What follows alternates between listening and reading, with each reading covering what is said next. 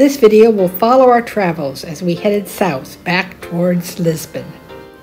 We left the Parador of Corias and headed south through the mountains of Galicia.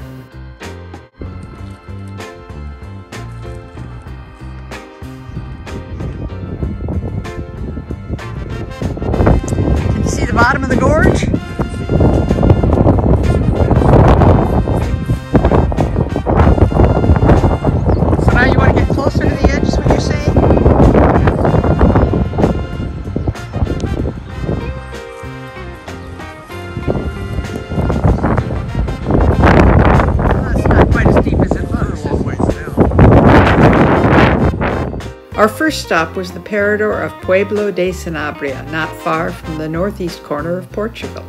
Our Parador looked across the Rio Tera to the castle and the medieval old town.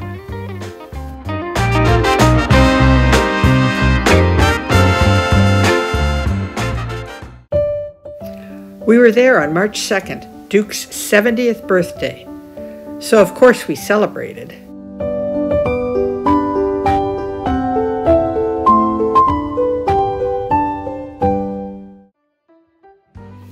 The next morning, we went into the center of town. We mailed postcards, bought bread, and explored the old streets.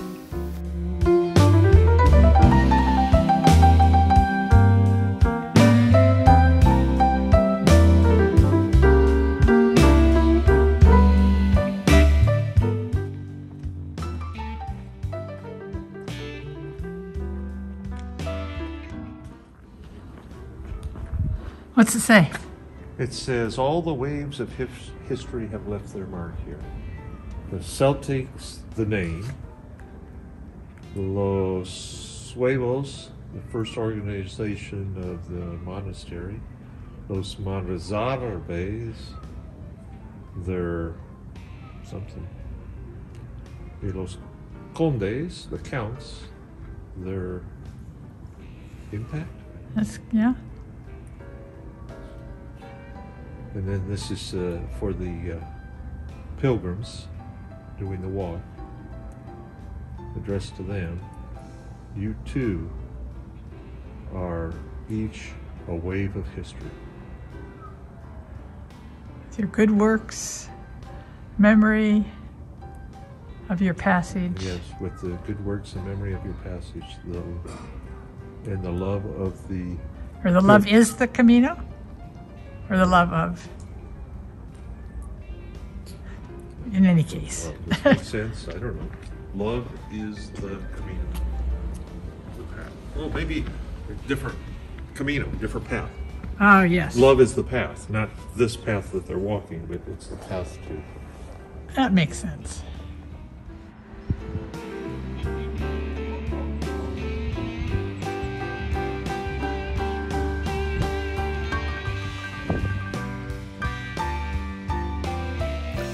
Puebla de Sanabria is just 12 kilometers from Lago de Sanabria.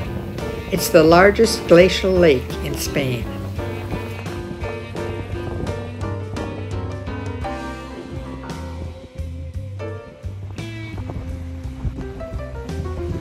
It's kind of cold. We're at a glacial lake whose name all of a sudden I'm forgetting. We're at uh, Lago de Sanabria. Windy and kind of cold, but still beautiful. I bet in the summer this place is very busy.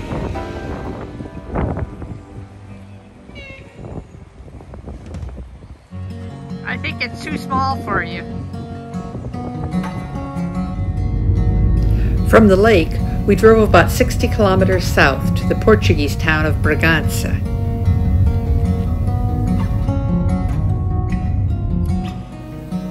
We stayed at the Posada de Bragança.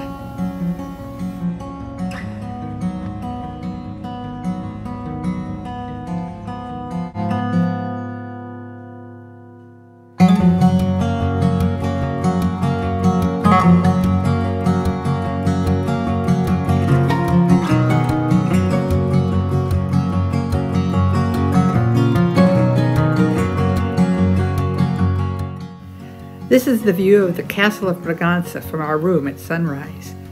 There was a tree growing out of the breakfast room.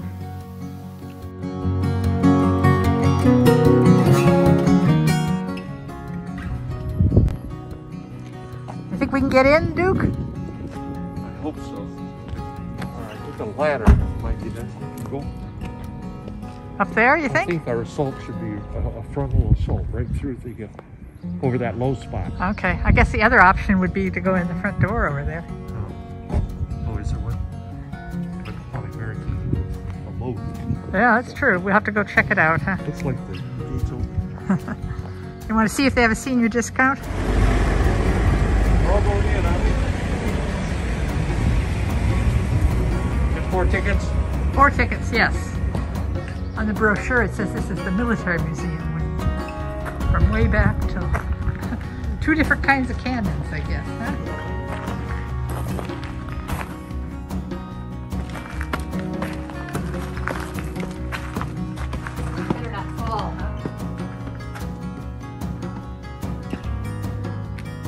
Be careful.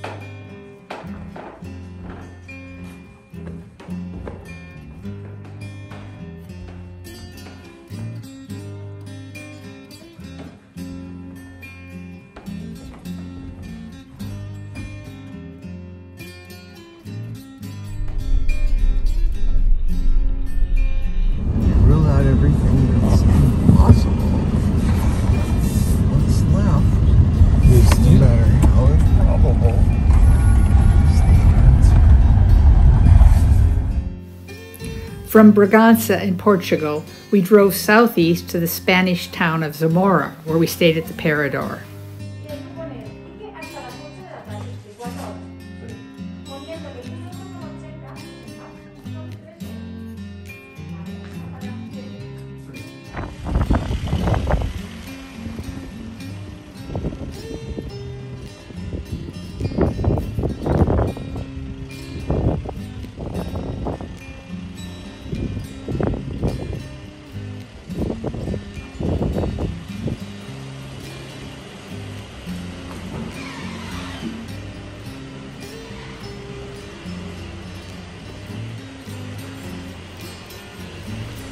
Gracias.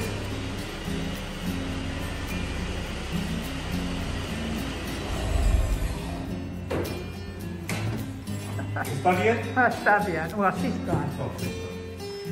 Seems good to me.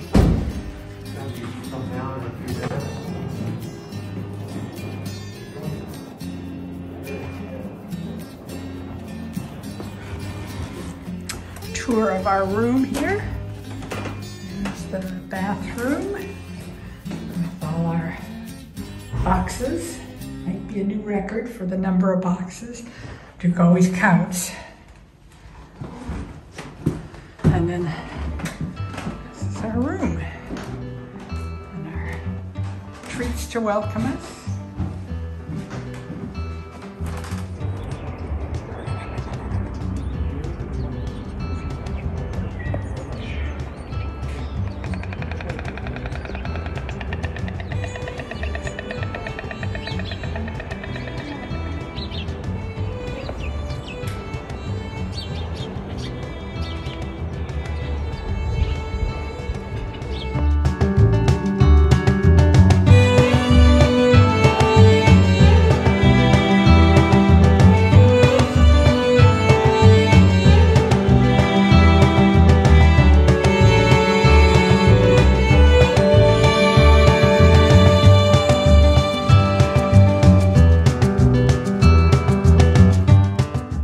We visited the Ethnographic Museum across the square from the Parador.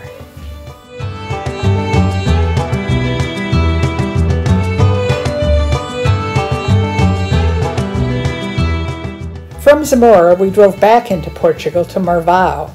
This gas station had Amazon drop boxes. At this roadside cafe, we stopped for a snack.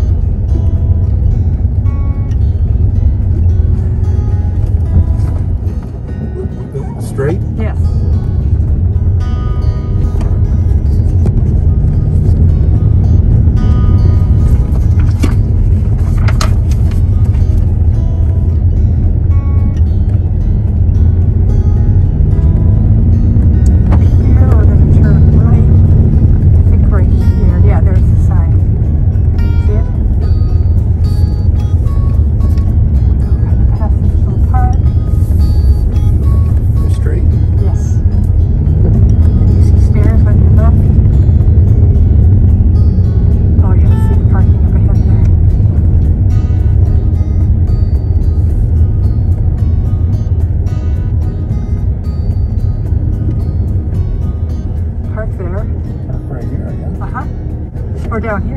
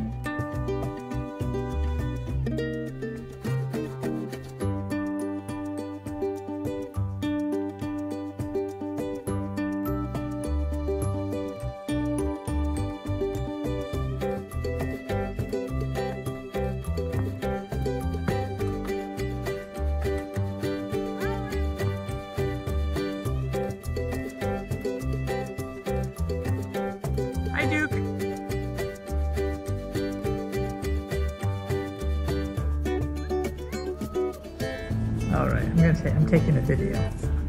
What do you think Of the, uh, of the view of the place? It's okay. You've seen one magical valley, you've seen them all.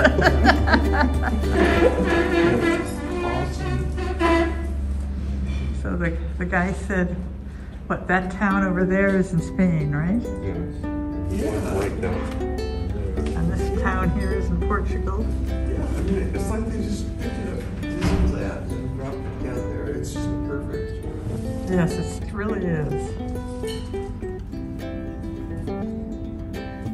After breakfast, we drove to Lisbon and returned our rental car. Ray and Linda got pre flight COVID tests, and we had our last Portuguese custard tarts.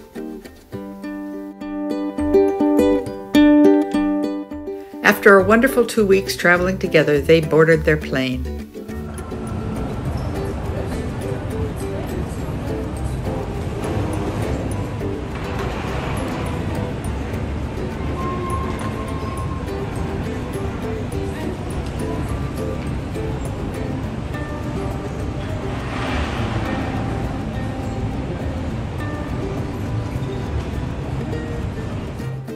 And Duke and I took a bus back to Spain to start the next phase of our trip.